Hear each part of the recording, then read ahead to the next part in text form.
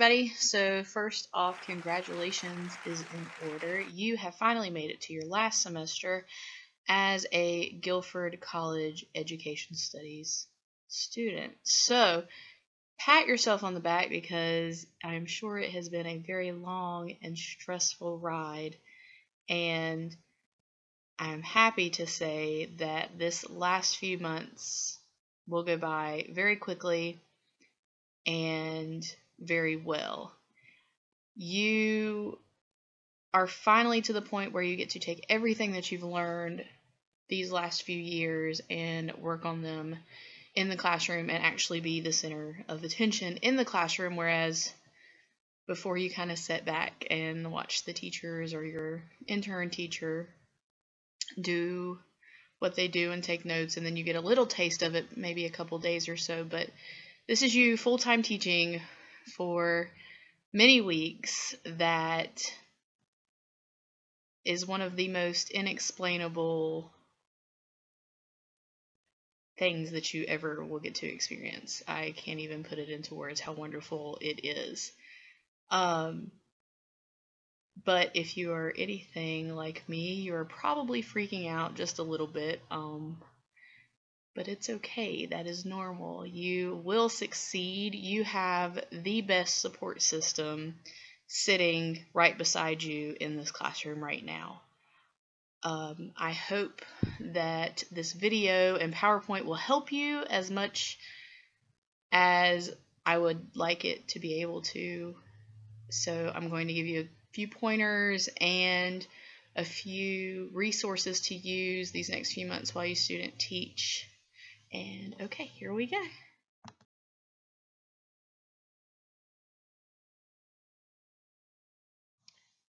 So, step one of this process is your advisor or professor is going to give you your CT or cooperating teacher and location as to where you're going to be student teaching this semester. They will tell you to contact that teacher as soon as you can, and I suggest you follow that request. The earlier that you contact your CT, the more time you're going to have to get ready for August when school starts.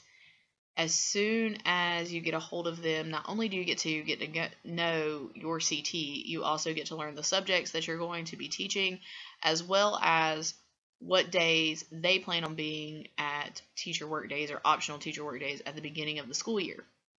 You have to follow their schedule. So if they plan on being at the school that day, you have to be at the school that day.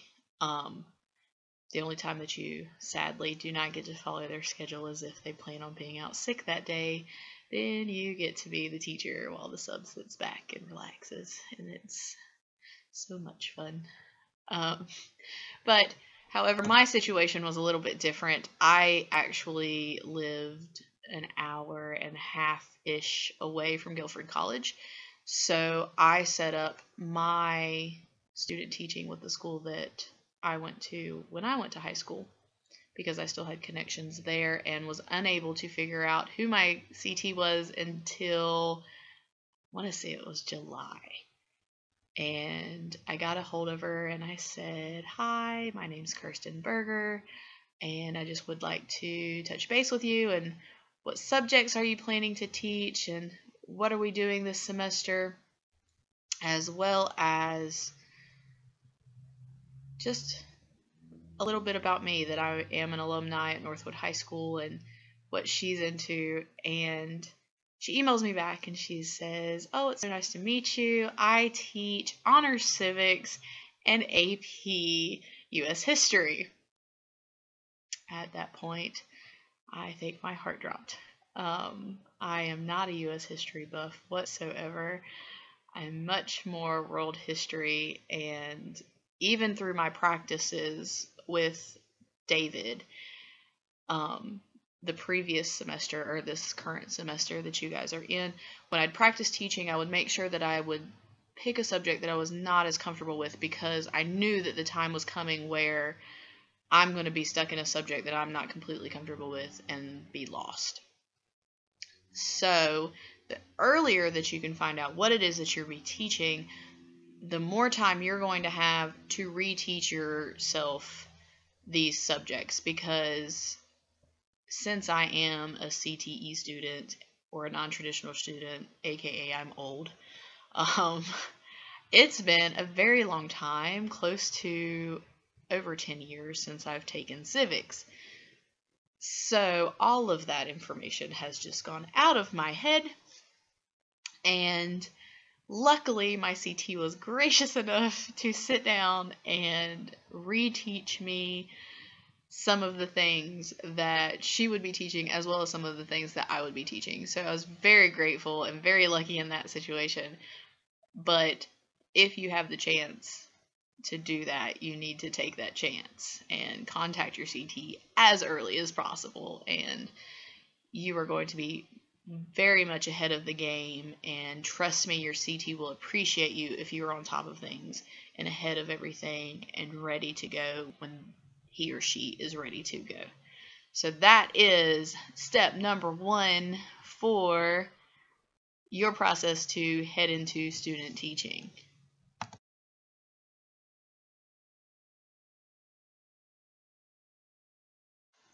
So, step two for your last semester at Guilford College is to jump right in and be a part of the team.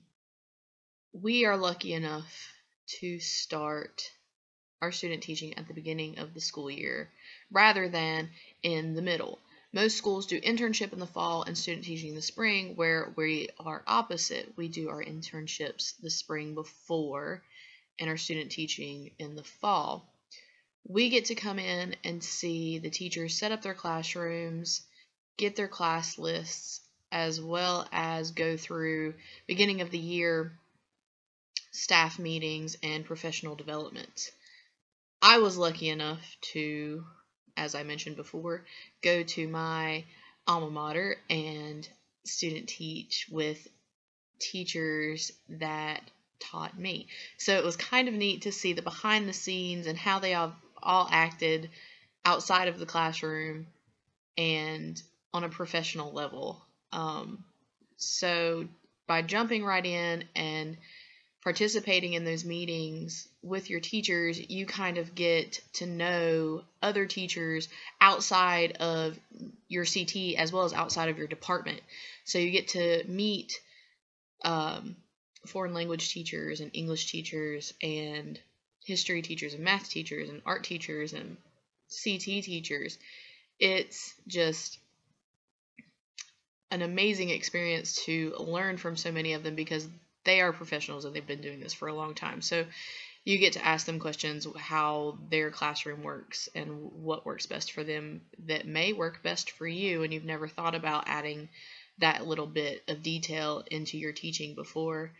Um, another great reason that helps us start in the fall at the beginning of the school year is you and your CT kind of get the chance to sit down and make your classroom environment, the two of you, rather than jumping in in the middle of the year where if you're on a traditional schedule, these students have had the same teacher already for six months. Whereas, or not six months, but four. Whereas, starting off in the beginning of the school year or with a block schedule, new teacher, new students, it's okay. Um, but we have a schedule where we kind of phase in to full time teaching and then phase out. And my CT had mentioned that she did not make a plan with one of her student teachers the previous times that she's been a CT.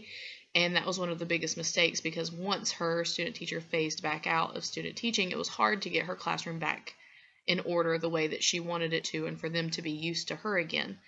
Um, so we went right on from the beginning. Let's co-teach. I want these students to know you and know our expectations from the get-go so that by the time I phased out and left, they were used to hearing a mixture of both of us teaching in the classroom at the same time. Um, I believe that one of my biggest confusions and worries was that once I started full time student teaching, that the CT wasn't allowed to help whatsoever.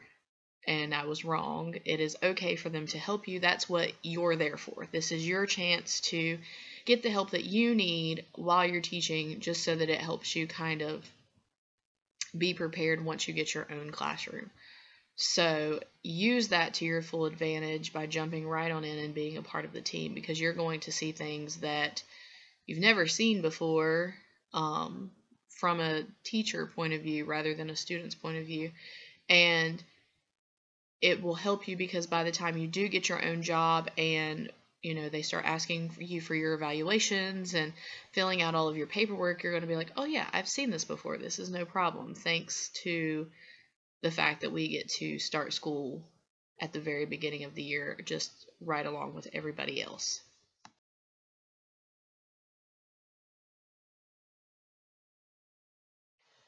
So, step three, or my little third piece of advice for you, is to be sure that you have some sort of support system or just time set aside for yourself during this process. We are now full time in student teaching, no other classes to worry about, no work to worry about, other than focusing mainly on your student teaching process and how your lessons are going to be.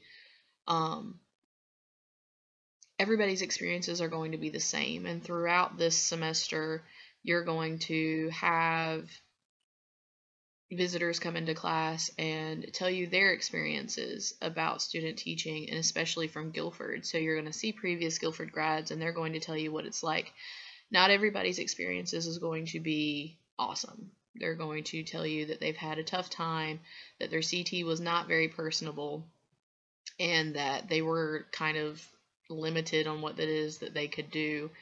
Um, they were strictly supposed to follow the teacher's lesson plans, and that was it and sometimes that happens and, and that's okay where you pull those amazing experiences from is taking what they give you and putting them in your back pocket and knowing that this is a way that you can do things whether they work or they don't work um, but i've coined tuesdays breakdown tuesdays during my student teaching process um, if any of you have david as your teachers you will sure I'm sure hear about my lovely breaking down. Um, but it was okay because I looked forward to Tuesdays because that was the day that we had class. So if I was breaking down on Tuesdays, I knew that I was going to class to see David and to see my other two um, peers, um, classmates. So I would get to vent to them and hear them say that it's okay that what I'm going through is normal, that I know what I'm doing.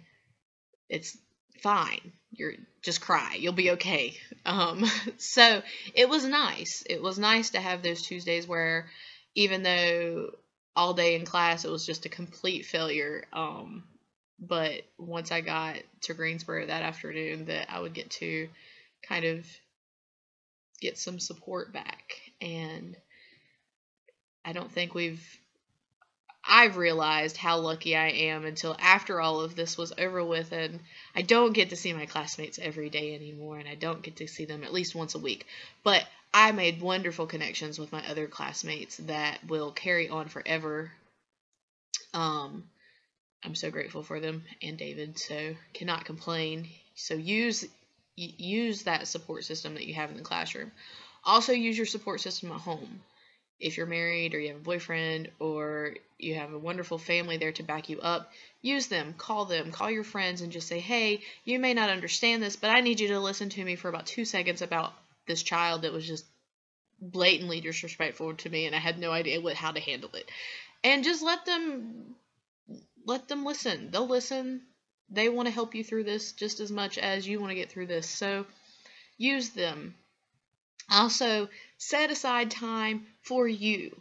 Find something that you enjoy doing either on a weekend or after school one day to where you go out and you let all of that frustration out and refresh. Um, mine was coaching, even though I wasn't full time coaching because that was not allowed. Um, I was able to come in and go to practices and go to games and see them. And that made me feel so much better to be around my kids that I've been around for years. Um, that was my downtime. That was my time for me to kind of just forget about everything else that's going on from your electronic evidences to your videotaping your classroom to dealing with the child that blatantly disrespected you and you have no idea what to do with them. So, um, I very much enjoyed seeing my athletes and my children and just being like, hey, let's spike a few volleyballs in the ground and let's get through this and, you know, let me cheer you guys on while you're at a game and yell at you when you do bad things because it just feels good to get that out and not have to worry about student teaching in school. So, make sure you set that time aside. I mean, anything can help as long as it's taking your focus off of student teaching and off of all of the stress that you're going to feel these next couple of months. It's worth it. Don't drive yourself crazy and find something to do off on the side. So that is my third little piece of advice to you. Now moving on to the fourth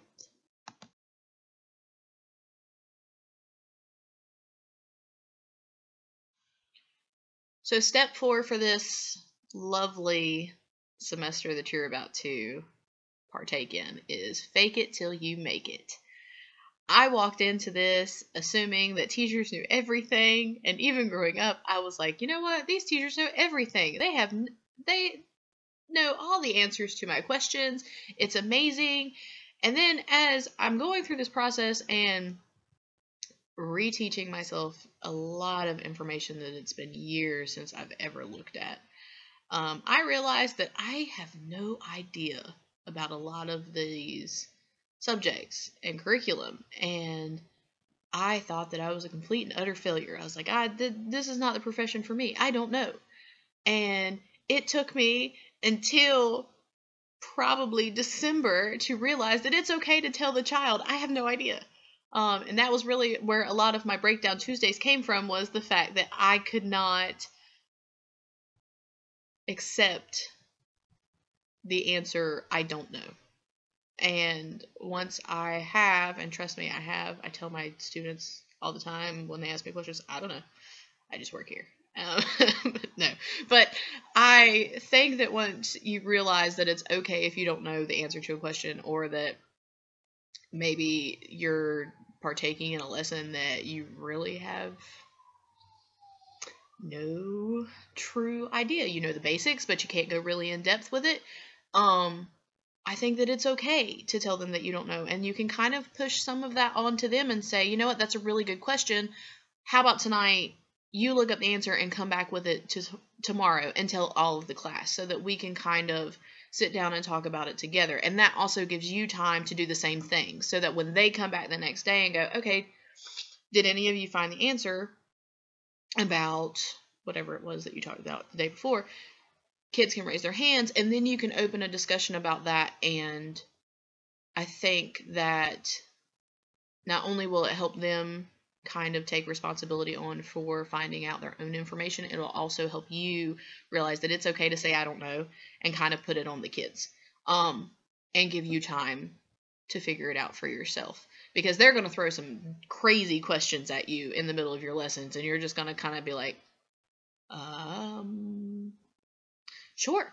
I have no idea, but usually I would just go um help and point back to my CT and she would just be like, "Oh yeah, no, it's this." So the biggest thing is the more that you teach and the longer that you're in this career, the more easily that it'll flow out. And while you're doing those lessons and talking, you'll accumulate those really cool stories that your teachers had. And you'll make your own. And you'll get used to in the middle of a lecture throwing out a really neat story that the kids will remember for years and years on down the down the road. Um, it doesn't happen right now, and I think that was one of the biggest things that I had to overcome is realize that I'm not I'm not there yet. I don't have that experience that all of my other teachers had. So that is the biggest piece of advice. Um, and I want to say that another reason that one of that was one of the biggest fears for me is to say I don't know is because kids are mean and kids are vicious and they can smell fear from a mile away and they come in and they're just like, "Ooh, fresh meat. What can we do to this teacher today?" Um, and not all children are like that, but I'm not saying that if you have a block schedule, you'll have three classes, or traditional, you'll have six. I'm not saying that one of those classes is not going to have a child inside of it that's going to just rip you to shreds. Um, they won't all, but there is going to be some. Um, mine was my fourth period uh, during student teaching, and it was a senior class that had no interest in being there whatsoever, and it was the last period of the day, and they're just ready to graduate. And here's this new woman that's in this classroom trying to teach me, and they thought it was hilarious. But I also had two CTs, so the CT for this class was kind of laid back and very different from the teacher that did the the honor civics with me.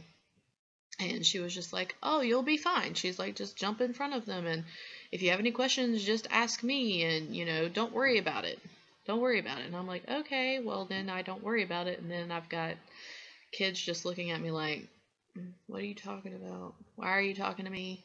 Um, but again, I used my support system to help me get through that process and realize what was best for me and what was best for them and our time together and how my lessons would be would be for them. And towards the end, I really got to know what it was that fit best for them. Um, they needed a little bit more guidance than my honors classes did, and it was good practice for me just because with honors students, majority of the time they take on a lot of the responsibility, whereas my senior class did not. They did not want to do any homework. They didn't want to do anything. They just were let me get in here and get out of here and graduate. I don't care. Um, so by making sure that a lot of their class time was we did a little bit of notes and you were doing some reading and you were